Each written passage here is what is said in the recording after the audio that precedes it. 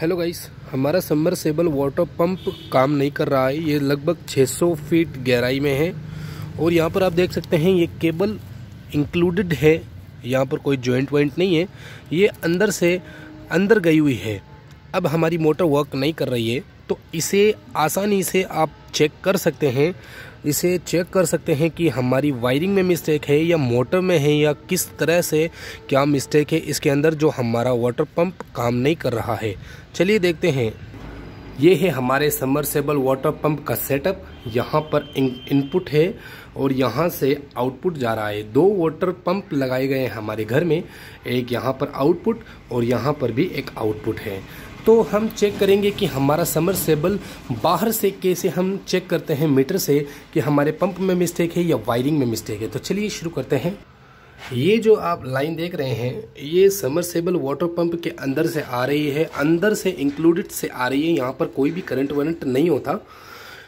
ये जो आप देख रहे हैं वायरिंग ये आउटपुट करंट है, यहाँ से आउटपुट होता है, इसके अंदर से रिले ऑन होती है कॉन्टेक्टर ऑन होता है, यहाँ से आउट होता है आउट होते ही इस मोटर को वर्किंग पॉइंट मिलता है। तो हो क्या रहा है, हमारा जो एम्पियर्स हैं, वो बहुत ही ज़्यादा हाई दिखा रहे हैं इस वायरिंग पे।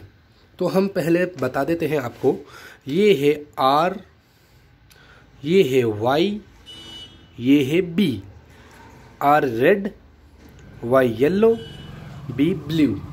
यहाँ पर ये तीन प्रोरेटी काम करती है फ़र्स्ट सेकंड थर्ड यहाँ पर two twenty four forty voltage काम करता है डबल फ़ेज़ यहाँ पर फोर फोर्टी वोल्ट काम करता है डबल फ़ेज़ और यहाँ पर फोर फोर्टी वोल्ट काम करता है डबल फ़ेज़ इस तरह से वर्क करता है थ्री फ़ेज़ कनेक्शन इस तरह से जैसे मेरी अंगुलियाँ चल रही हैं इस तरह से कुछ वर्क करता है जो हम अलग वीडियो बनाएँगे। तो इसे हम चेक करते हैं। इस तरह का आपको मल्टी एक मीटर चाहिए होगा, इस तरह का, जिसमें एक लाइट है। ज़रूरी नहीं है आप लाइट वाला यूज़ ले, कैसे भी आप कोई सा भी यूज़ ले सकते हैं। इसे मैं पहले शॉर्ट सर्किट करके दिखाता हूँ। तो आपको कुछ साइन साउंड सुनाई दे रहा होगा। शॉर्ट सर्किट पे आपको यहाँ पर साउंड सुनाई दे रहा है। तो इस साउंड की मदद से ही हमें पता लगेगा कि यहाँ पर क्या है, क्या नहीं। तो पहले मैं क्या करूँगा? इसके एक जो रेड वाला वायर है, इस पर मैं ज्वाइंट रखूँगा। ठीक है? यहाँ पर जो रेड वाला है, इस पर मैं कनेक्ट करूँगा इस वायर को। ज़रूरी नहीं है, काला भी लगा सकते हैं। और मैं एक ब्लू पर लगाऊँगा। तो आप देख सकते हैं, यहाँ पर शॉर्ट सर्किट करंट दिखा रहा है। ठीक है? तो इसे हम सही माने या गलत? अब मैं क्या करूँगा यहाँ ब्लू, ये जो ब्लू, रेड, येलो वाला है, पीला, इस पर मैं अगर लगाता हूँ तो यहाँ पर कोई भी शो नहीं हो रहा। और मैं अगर ब्लू पे लगाता हूँ तो अच्छे से शो हो रहा है। ठीक है, यहाँ पर शो नहीं हो रहा। मैं फिर से पीले पर लगा करके ब्लू पे लगाता हूँ। तो यहाँ पर कोई भी शो नहीं हो रहा। और अगर मैं इसे इस साइड में लगाता हूँ रेड में तो भी कोई शो नहीं हो रहा। तो गलत कौन सा वायर हुआ? पीला वाला दोस्तों। ये जो वायर है, ये हमारे सबमर्सेबल के अंदर से फॉल्ट है। जी हाँ दोस्तों, या तो ये टूट गया है अंदर से, या पंप की वाइंडिंग में से अलग हो गया है। या कुछ भी हो सकता है, पंप की वाइंडिंग में से भी अलग हो सकता है।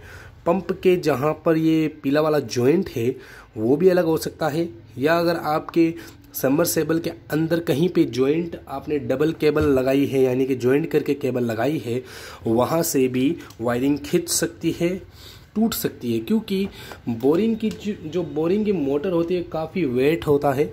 तो कभी कभार क्या होता है, गर्मी, सर्दी की वजह से हल्का सा झोल आ जाता है मतलब लटक जाता है थोड़ा सा और तो उसकी वजह से भी शायद केबल टूट सकती है या फिर आपके पंप में मिस्टेक हो सकती है। ये देखिए, यहाँ पर शॉर्ट बता रहा है। जब इस तरह से ज़ीरो शो होता है मतलब पूरा ज़ीरो नहीं, ज़ीरो ज़ीरो सिक्स इस तरह से शो होता है, अगर पूरा ज़ीरो शो हो रहा है तो शॉर्ट सर्किट है। और ज़ीरो ज़ीरो सिक्स या कुछ रीडिंग बता रहा है, नंबर्स बता रहे हैं तो इसका मतलब हमारा पंप वर्केबल है। इस तरह से बता रहा है। और यहाँ पर भी बताना चाहिए। मतलब इसमें बता रहा है, शो इसमें भी बताना चाहिए। जैसे हम यहाँ पर इसमें लगाएँगे तो भी बताना चाहिए और इसमें लगाएँगे तब भी बताना चाहिए। तब तो हमारा वर्किंग अच्छा है। लेकिन यहाँ पर आप देख सकते हैं, ये बिल्कुल फ्री बता रहा है। ये मीटर आप कोई सा भी यूज़ ले सकते हैं।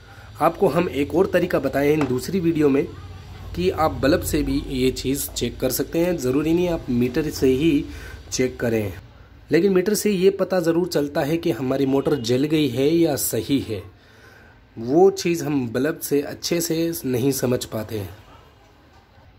तो गाइस, आप लोग समझ चुके होंगे ये जो वायर है, ये फ्री है, अंदर से जल गया है, टूट गया है या वाइंडिंग में से ख़राब हो गया है। ये दो वर्क कर रहे हैं, ये वर्क नहीं कर रहा है। तो दोस्तों, अब जब समस्याबल निकलेगी तो उस समय हम आपको बताएँगे कि कहाँ पर मिस्टेक है। चलिए बाय बाय इस चीज़ को समझ गए होंगे आप लोग।